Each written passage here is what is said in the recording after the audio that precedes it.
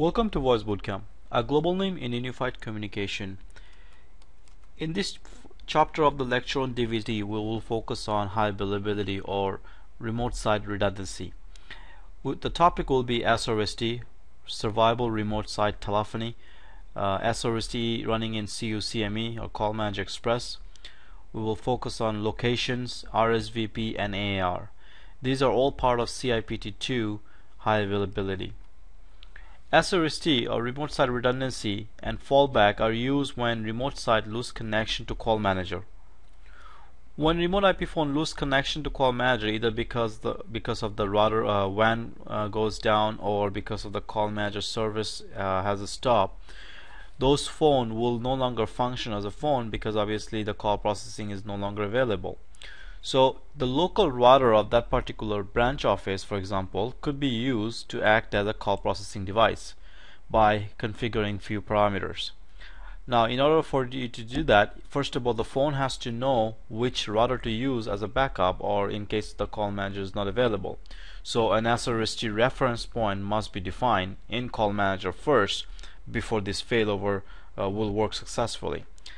An SRST router is basically any Cisco IOS router, ISR based router with the proper IOS and licensing um, licensing feature. Now, uh, basically an SRST provide a call processing where it will provide basic functionality um, such as uh, dial tone, number lookup, uh, sorry, call processing, um, call forwarding, uh, call hold, and things like that. When the same router acting as an MGCP gateway, for example, connecting to the call manager. If that call manager is no longer available because of the WAN failure or because of the processing is down, well, the gateway can no longer function as a voice gateway. However, if you enable MGCP fallback, then it allows the gateway to function as a voice gateway even when call manager connectivity is not available.